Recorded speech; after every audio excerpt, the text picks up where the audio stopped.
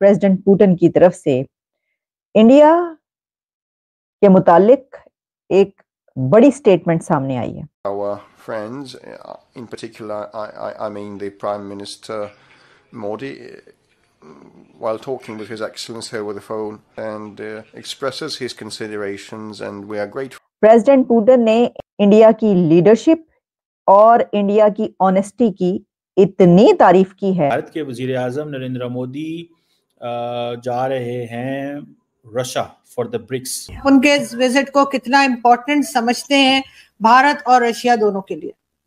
दोस्तों अगर हम वेस्ट की बात करें अमेरिका की बात करें तो वो इस दौरे से बहुत ज़्यादा जेलस होते दिखाई दे तो रशिया को और दुनिया को हमने ये बताना था कि भाई हमारा दोस्त रशिया था है और हमेशा रहेगा। इंडिया इस चीज़ की कभी परवाह नहीं करता क्योंकि वो एक बहुत पावरफुल इकॉनमी है। पहली बात ये कि रशिया का और भारत का जो रिलेशनशिप आपको मालूम है, बहुत पुराना है। हमारा जैसे आपका चाइना बहुत अच्छा फ्रेंड है, हमारा रशिया फ्रेंड है। दोनों ही कम्युनिस्ट कंट्री के पीछे लगे हुए इसकी वजह ये है कि उनकी आज़ाद फॉरेन पॉलिसी है। वो ये नहीं करेंगे कि वो कोई बात कह के कुछ और करें, क्योंकि उनके अपने इंटरेस्ट सामने आ जाएँगे, कुछ ऐसा होगा, वो जो कहेंगे, वो उस पर कायम रहेंगे और वो करके दिखाएँगे। इकदार भी हैं। मोदी ने बहुत मेहनत की है स्ट्रगल की अपनी कंट्री के लिए। आप खुद देख लें कि आज से पंद्रह साल पहले अगर आप उनका इंडिया की वैल्यू देख लें हमारे पाकिस्तान के लेवल पे थे ठीक है? ये थोड़ा पाकिस्तान से पे भी बेहतर थे। वही ना कुछ बेहतर थे हाँ। लेकिन इस वक्त आप देखी जाएँ तो हमारा शायद क्या हुआ? अच्छा। हाँ। तब देखें इंडिया का एक रुपया अगर होता था तो हमारा शायद वो हाफ़ होता था ठीक है? लेकिन इस वक्त हमारा इतनी वैल्यू लो हो चुकी है कि हमारे पाँच रुपए हों तो उनके एक रुपए के बराबर बनते हैं ठीक है? हाँ, तो रीज़न ये है कि मोदी जी ने बहुत सारी मेहनत की स्ट्रगल की है उन्होंने अपनी हर कंट्री के अंदर एक अच्छी बेस बनाई है ठीक है? हम्म, कहते हैं ना जिसकी जितनी वैल्यू होती है उसको उतनी ही इज़्ज़त दी जाती है ठीक है?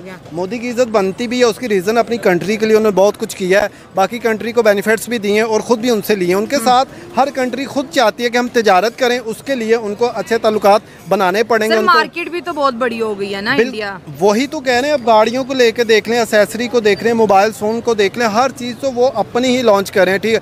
हर ब्रांड प्रोडक्ट वो अपनी लॉन्च करें किसी कंट्री से वो तजारत नहीं करें चाइना जैसी इतनी बड़ी कंट्री के साथ वो माथा लगा के जुड़ के बैठे हुए हैं ठीक है? जो चाइना हमारे देश में देख लें हमारे गिलास भी लेना था वो भी हम चाइना का ले रहे हैं ठीक है? हमारा अपना तो कुछ है ही नहीं है। तो यही रीज़न है इंडिया ने अपने आप को खुद मनवाया है ठीक है? उन्होंने अपनी वैल्यू बेस खुद बनवाई है और बाकी कंट्री को इंडिया से लालच है तो उसकी वजह से वो उनको वेलकम अच्छा करती है उनको प्रोटोकॉल देती है। देखें बात मैंने पहले भी कही है जब एक अच्छा लीड करने वाला लीडर मिल जाता है ना तो आपकी कंट्री के आपकी पब्लिक के हालात बदलना शुरू हो जाते हैं। ठीक है जब मोदी आया था उसने हर हर किसी को सिविलियन जितने भी चाहे वो मुस्लिम है चाहे नॉन मुस्लिम है हिंदू है जो भी हैं उन्होंने हर किसी को अच्छी सहूलत दी है अच्छे बेनिफिट्स दिए हैं।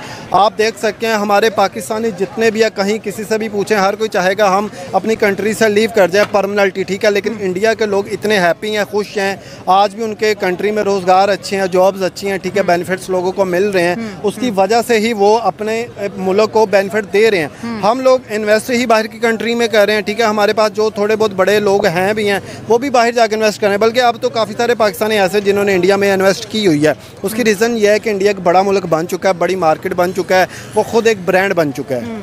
सर, अगर शबाज शरीफ की बात करें तो छः दिन पहले एस मीटिंग में पुतिन साहब के साथ शबाज शरीफ की भी मीटिंग हुई और एक ऐसी हरकत सामने आई जिस पे लोगों ने बड़ा तंज किया और मज़ाक में भी उड़ाया इसको कि पुतिन साहब से हैंड शेक करने के बजाय पहले कैमरामैन से हाथ मिला लिया। अब मैंने पहले ये बात कही है जिसकी जितनी वैल्यू होती है वो वही करता है। शायद उन, वो अपना जैसे पाकिस्तान में मीडिया को इन्वेस्टमेंट करके पैसे दे के अपनी पब्लिसिटी करवा रहे हैं। जैसे पीछे आपने देखा होगा टिकटॉकर्स को भी पैसे दिए जा रहे हैं ठीक है? उनको पता था कैमरा मैन से सलाम लेंगे तो हमें अच्छा पेश करेगा ठीक है? तो हमें खुद शर्म आती है कि यार पुतिन को एम्बेरसमेंट ही बेचारे का हाथ हवा में रह गया और हमारे वज़ीर आज़म साहब उसको इग्नोर करके तो वही ना हालाँकि इग्नोर तो वो करे जो बहुत बड़े लेवल का कोई बंदा हो ठीक है? उन्हें समझ नहीं आई उन्होंने पहले कैमरामैन से हाथ मिलाया फिर पुतिन से हाथ मिलाया।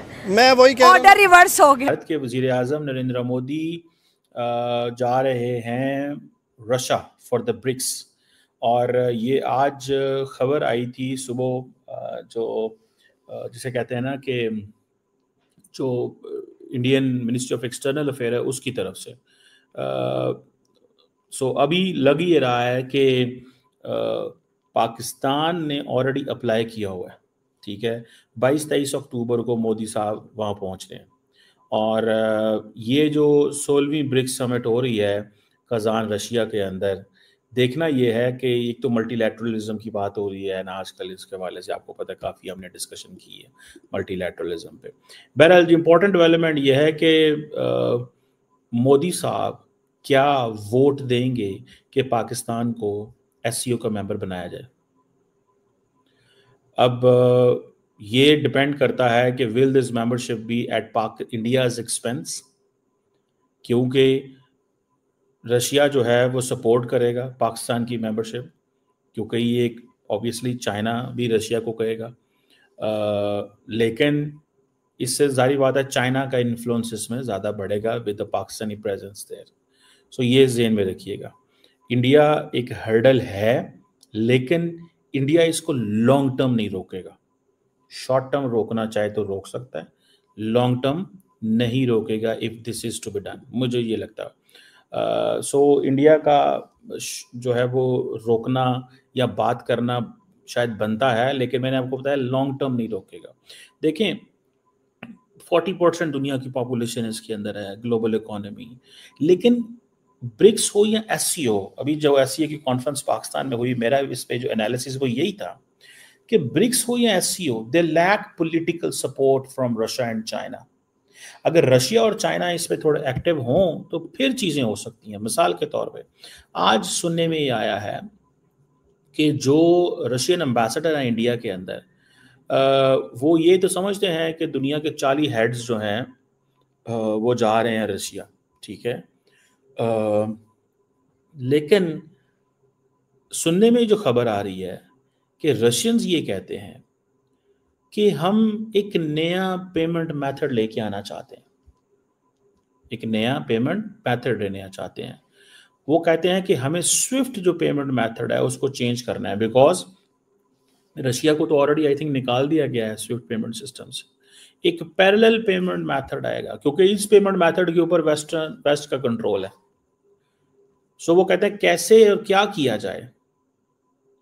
ठीक है जी। तमाम ममालिक इकनॉमिकली एम्बिशियस हैं और तमाम ममालिक के ऊपर बहुत सारे ऐसे ममालिक हैं जिनके ऊपर बायोलैटरल सैंक्शन लगी है। मुझे ऐसा लग रहा है आइंदा आने वाले दिनों में या आइंदा आने वाले दिनों में अमेरिका रोकेगा दुनिया को कि अगर आप इस पेमेंट मेथड का हिस्सा बनेंगे जो कि स्विफ्ट के मुकाबले में होगा तो हम आपसे डील भी नहीं करेंगे, हो सकता है ये हो। लेकिन चाइना जो है, उसकी इकोनॉमिक स्टेक्स इतने हाई हैं बिकॉज़ चाइना सारे का सारा स्विफ्ट पेमेंट मेथड सिस्टम से बेनिफिशरी है ना? ठीक है? सो देखना ये है कि ये आ, ये क्या होता है? अब बड़े इंपॉर्टेंट वर्ड्स इस्तेमाल किए जाते हैं जी सिविलाइजेशनल डाइवर्सिटी होगी हम इसमें प्रेशर नहीं होगा। लेकिन आप अगर अमेरिकन प्रेशर से निकलेंगे तो रशियन एंड चाइनीज़ प्रेशर आपके लिए तैयार बैठा हुआ है। हर मुल्क जो है हर पावर एक ही तरीके से बिहेव करती है। ठीक है जी? प्राइम मिनिस्टर मोदी जा रहे हैं, चालीस अदर मुल्कों के भी हेड ऑफ़ गवर्नमेंट्स जा रहे हैं स्टेट्स जा रहे हैं। लेकिन जारी बात है, रशिया के अंदर सड़कें बंद नहीं होंगी। बहुत इंटरेस्टिंग डेवलपमेंट हमारे सामने आई है कि अभी जबकि इंडिया से प्रेसिडेंट मैक्रॉन होकर वापस गए हैं और वहाँ पे बड़ा चर्चा रहा उनका रिपब्लिक डे पे तो उसी के साथ आज प्रेसिडेंट पुतिन की तरफ़ से इंडिया के मुतालिक एक बड़ी स्टेटमेंट सामने आई है।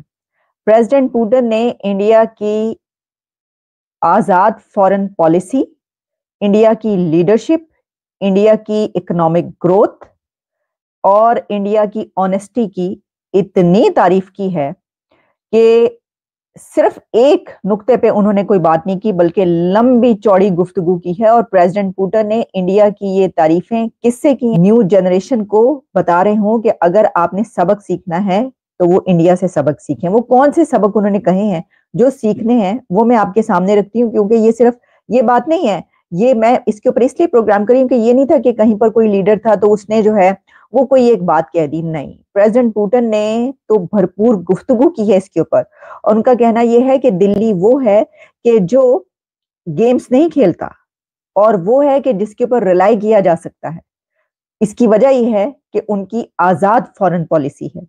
वो ये नहीं करेंगे कि वो कोई बात कह के कुछ और करें, क्योंकि उनके अपने इंटरेस्ट सामने आ जाएँगे। कुछ ऐसा होगा, वो जो कहेंगे वो उस पर कायम रहेंगे और वो करके दिखाएँगे।